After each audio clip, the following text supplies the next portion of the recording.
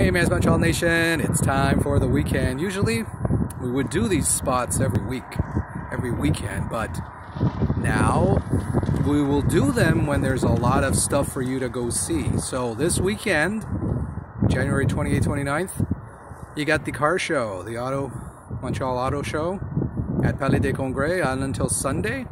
You got uh, the return of Mini Comic Con, January 28th and 29th. Uh, auto show is $18 plus tax. Uh, Comic Con, mini Comic Con, is uh, free. That's right. And all it basically is is uh, vendors selling T-shirts, uh, selling um, comic books, and uh, the big draw for the mini Comic Con is uh, cosplay.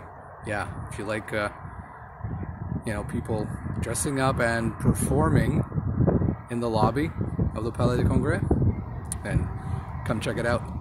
And of course, Igloo Fest continues until February 11th, every Thursday, Friday, Saturday, 7:30 to 11:30 midnight, and that is $39 plus tax. And so there you go.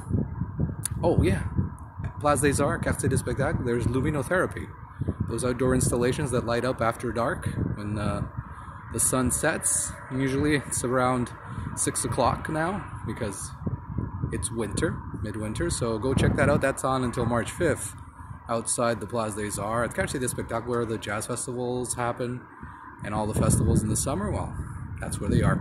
There's also the skating rink at Esplanade Tranquille if you want to go do some skating. That's right. So yeah, lots of stuff to do this weekend. So go out and enjoy midwinter.